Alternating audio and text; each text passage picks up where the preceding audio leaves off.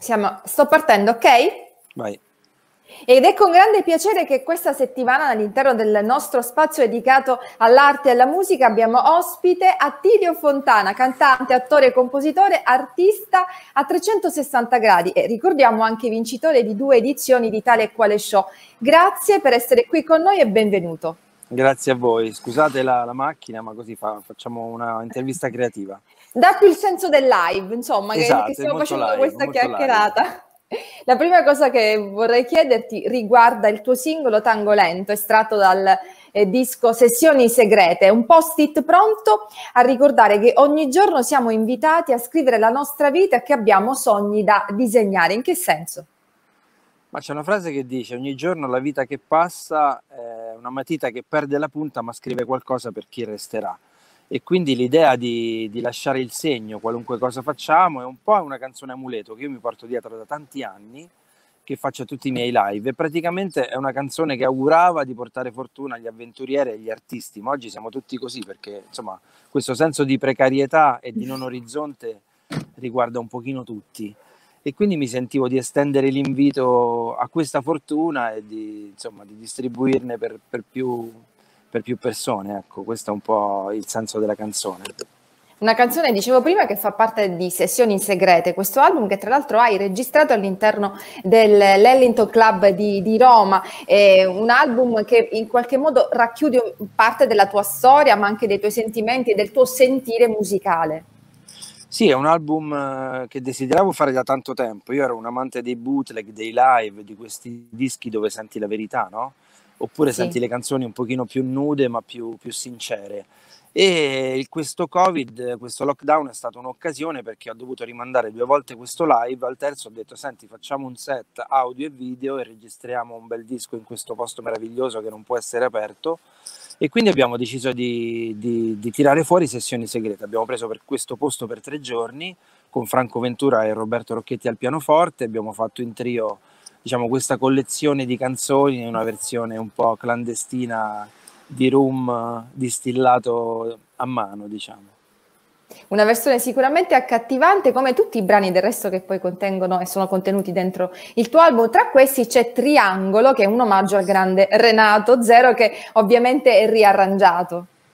Sì, Triangolo perché con Franco ci divertiamo a giocare ogni tanto a, ri- a rivisitare dei brani famosi e col Triangolo abbiamo fatto una prova in un paio di concerti e insomma il pubblico andava un po' in visibilio e c'era la possibilità, come nel disco, di, di cantare questo coretto che è Lui chi è, che abbiamo lasciato vuoto proprio per il pubblico per renderla interattiva e dedicarlo un po' a questo virus sperando che se ne vada da questo triangolo malefico che ha generato nelle nostre vite, togliendoci la privacy, la, l'empatia, la, una sessualità libera, tutto quanto. Quindi in qualche modo era un po' anche quello un piccolo esorcismo per, per mandare via questo intruso. Vorrei fare ora un passo un po' indietro di, di, di poco tempo riguardo all'esperienza al tale quale show eh, vincitore due volte, dicevo prima, ma di tutti i vari artisti che hai interpretato, ce n'è uno che ti è rimasto particolarmente nel cuore e viceversa se c'è invece qualcuno che non hai fatto e che invece avresti voluto fare?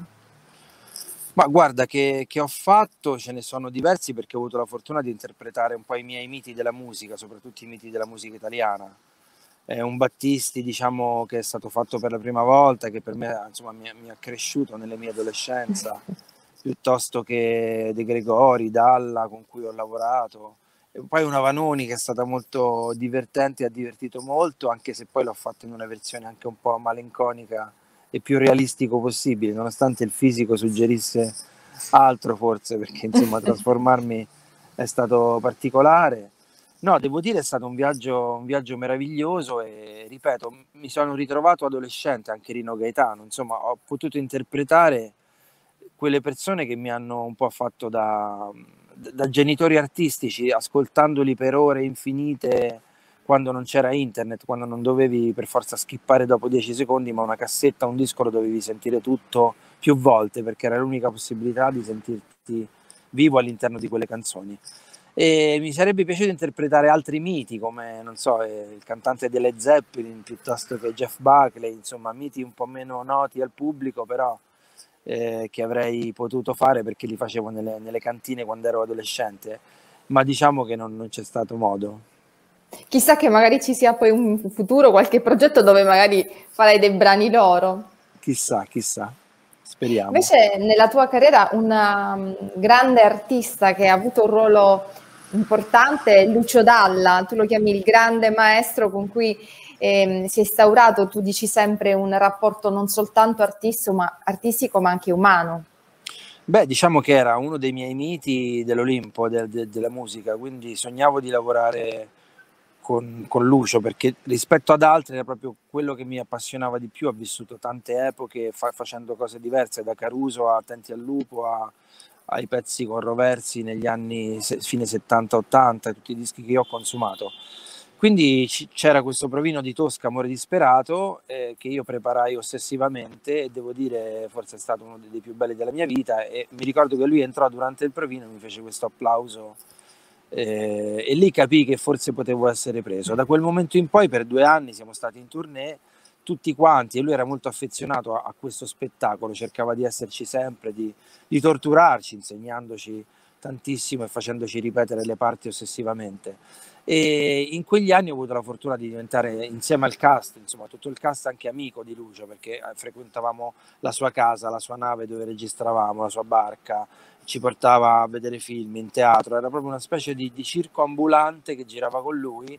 E lì ho potuto rubare tantissimo, ho avuto anche la fortuna di, di scrivere delle canzoni con Lucio, che forse è uno dei regali più grandi che, che mi ha lasciato perché insomma è, è una prova tangibile de, dell'affetto e della stima che si era creata.